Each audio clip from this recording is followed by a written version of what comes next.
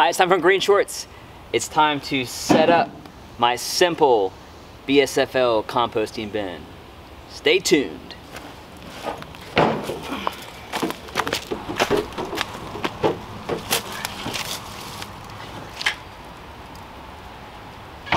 I've got this in a nice spot back here in the backyard.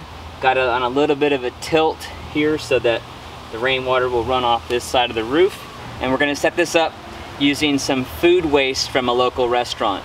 Because I've got multiple composters going, now I'll have two soldier fly larva composters as well as a couple worm composters. The food waste that my family generates is not enough to sustain all these guys. So I've actually go across the street to a local restaurant and get their food waste. The beauty of soldier fly larvae is that they will scale to the amount of food that's available. So you make more, they make more.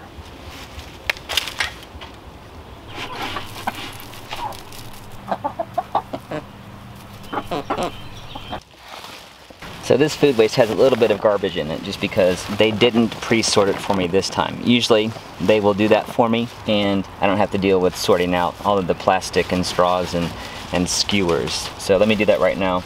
As you can see, a soldier fly has already found the bin. Of course it helps that my other bin is about five feet away. Normally I use a plastic glove to do this sorting if I have to, but you can also use a grocery bag. And I just used it to move some worms into my worm composter, which is why it's messy. So you just want to make sure that it doesn't have any holes in it where you're gripping it. But if you ask your restaurant ahead of time to pre-sort their food waste for you, you don't have to deal with this.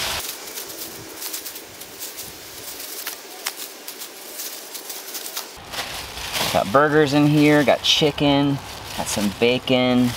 Lemons are okay for soldier fly larvae. You don't want to use don't want to use lemons or citrus in a worm composter.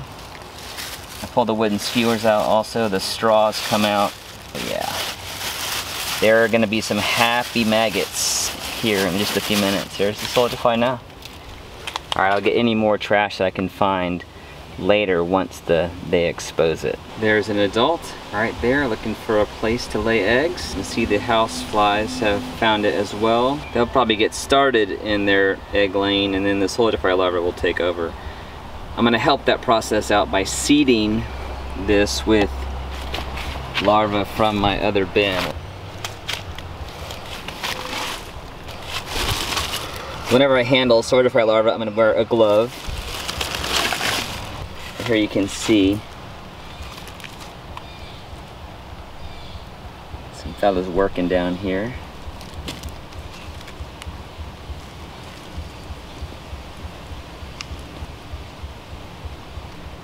Just gonna grab a handful of maggots here. Ooh, they're wiggling in there. Move this over to the new bin. Let's get a few more.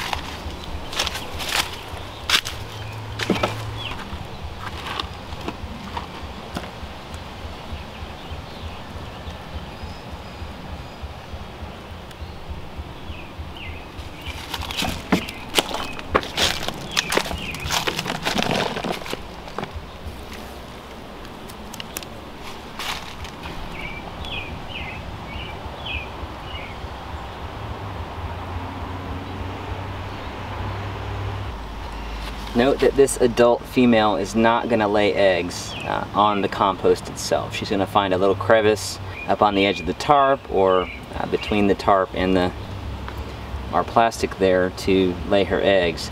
The eggs will hatch and then they'll crawl down into the compost. These soldier flies have found this so quickly just because I've already got a bin nearby. If you're starting from scratch, uh, they may have a little harder time finding it, but they will. And usually what you'll see is housefly larvae coming first, and they uh, will lay their eggs, they'll hatch, and, and housefly larvae look like grains of rice, and they wiggle a lot faster. Soldier fly larvae look more like aliens. They're segmented, their, their movements are a lot more rhythmic. Corrugated cardboard also provides the perfect crevice for a female soldier fly to lay her eggs. So I'm gonna put some of this strategically around the bin so that they can find this and lay eggs in here.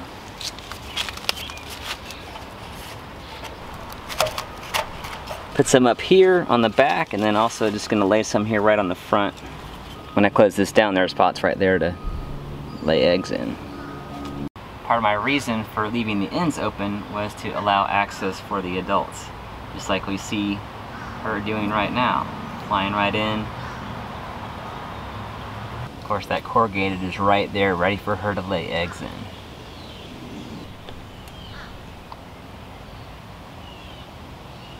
I've had a problem with ants getting into the bin on my other bin, so I've just created a simple water gap on each leg using just a variety of things I had around the yard.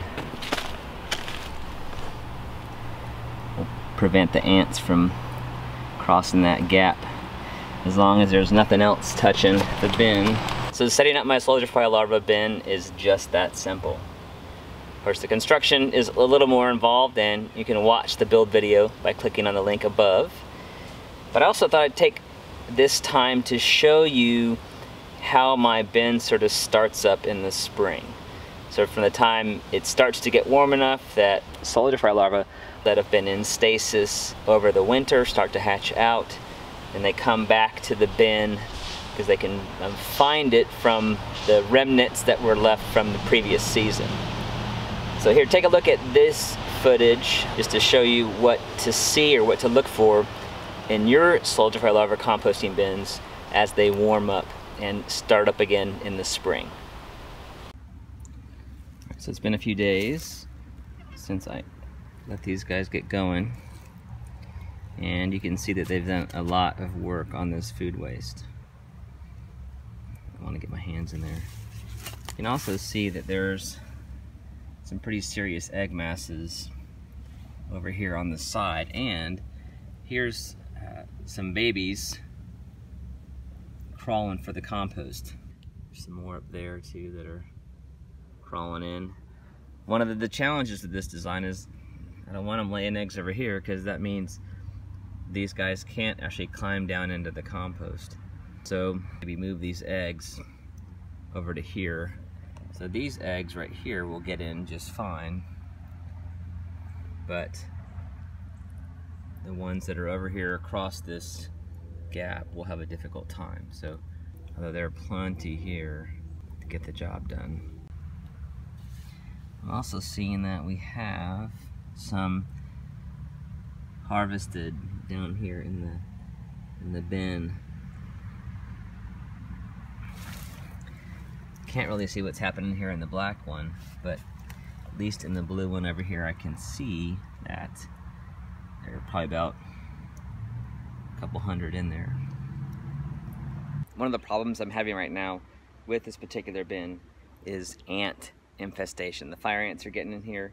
Now they don't necessarily, uh, they won't eat the soldier fly larvae when they're big. I'm not sure. I haven't seen them carrying off the little ones. So I don't know for sure if that's a problem.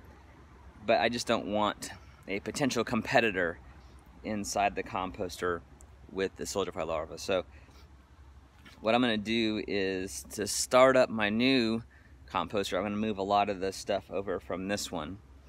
And then I'm going to clean this out, wash it down, and then restart it. Also had carpenter ants getting in here. They're mainly after the bread.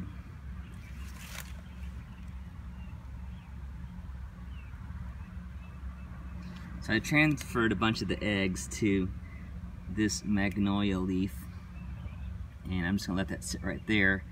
And once they start to crawl off they'll hop right down into the into the compost.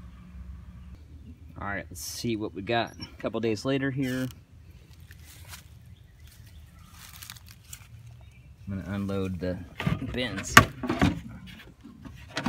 It's a little trickier to do one-handed here but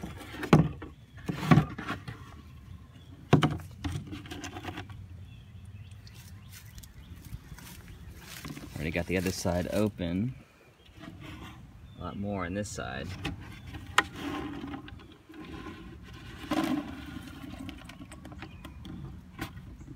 Spiders love to build webs down in here and then they can catch any adults that hatch out. So every couple days I need to clear the spider webs out. Use a stick.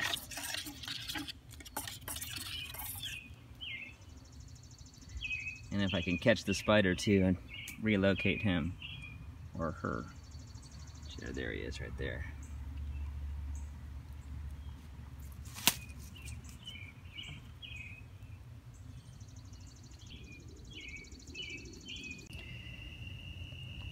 All right, so it's a few hours later, it's night, and I'm back out to check on soldier flies, see if we have any migrating. Few more, a few more down in there from this afternoon when I emptied them.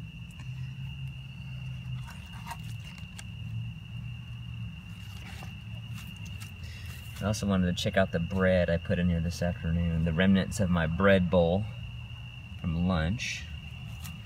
And I'm just easily, just carefully pull this back and show you what's underneath. This is, I can feel some heat coming off this. They're definitely, this is the frenzy when they get moving. cover them back up, let them do their thing. Just put this bin back in so there's nothing in there yet.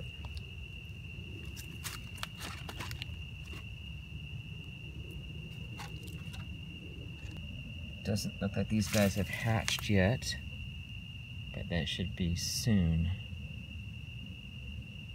Still have my ant problem here the fire ants are cohabitating here with the soldier fly larva, but I definitely don't want that happening just because they're competing for food. I found out about soldier fly larva by accident. I had a worm composting bin, it was outside, and I started seeing these creatures in there and I didn't know what they were.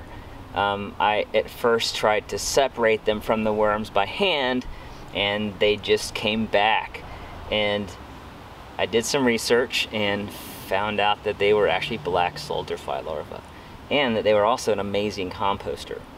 Um, Murray Hallam, who is an aquaponics guru from Australia, uses them as a food source for his aquaponics fish. I feed into my goldfish and then of course they're going next door to my neighbor's chickens. An amazing food source, like 30% fat, 40% protein. They even have some mitochondria stuff happening that adds antimicrobial properties to a chicken's diet. I don't know the details on that, but there's some amazing research that's been done on black soldier fly larvae. The adults don't even have mouths. So they were clearly made to compost and then move and um, replicate as fast as possible. Amazing creatures and it's awesome to watch. So I've got a bucket over here that I just took out of the other bin. Gonna walk next door and feed the chickens and we'll show you how that looks. Here's the output of a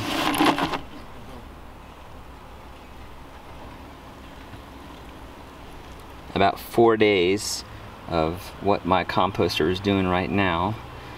You can see that these are all black, which means they're pre-pupa.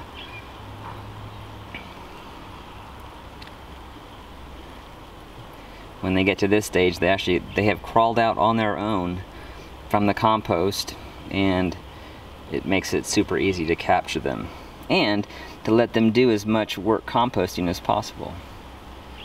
Alright, let's take these guys next door and watch the chickens munch.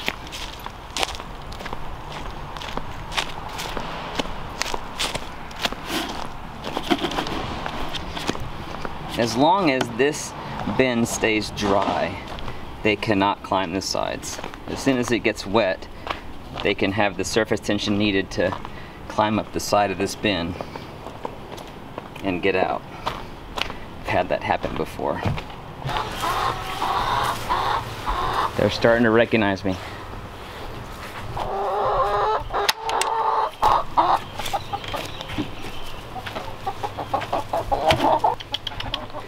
Hey birds.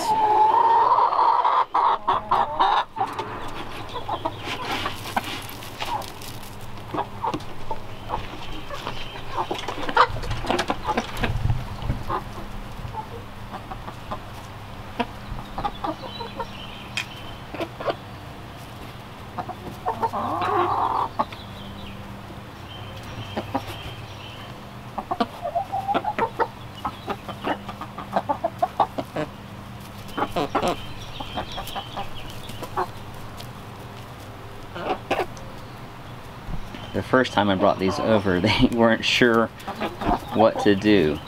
They were very tentative about eating. But eventually they did, and now that they know what they're getting, they're happy to see me. So they'll get down in the the bedding here on the ground. Uh, but the birds are made to scratch these things out, so I'm guessing I had 500 to 1,000 there, and they'll eat them all in about 10 minutes.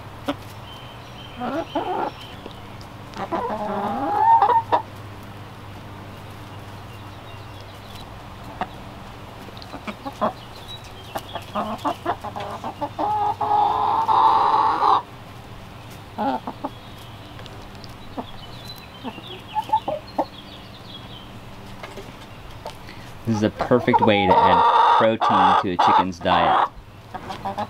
Isn't that right?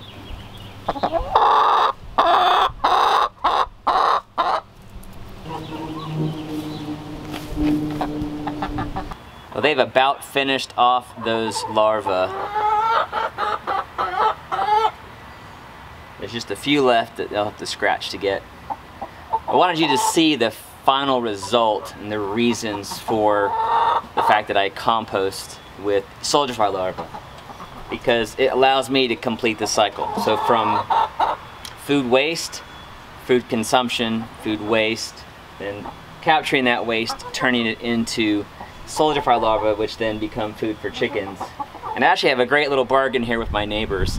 I give them bugs, and they give me eggs. Now these guys, or these ladies, aren't laying just quite yet, but they should be laying here in a month or two, and then I get to enjoy the bounty of my neighbor's chickens.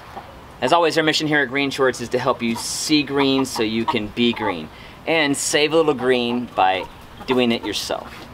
In this case, I'm saving money on eggs by composting with soldier fly larvae and turning them into food for these chickens. Thanks so much for watching. Please like and share and subscribe for a new GreenShortz DIY video almost every Friday.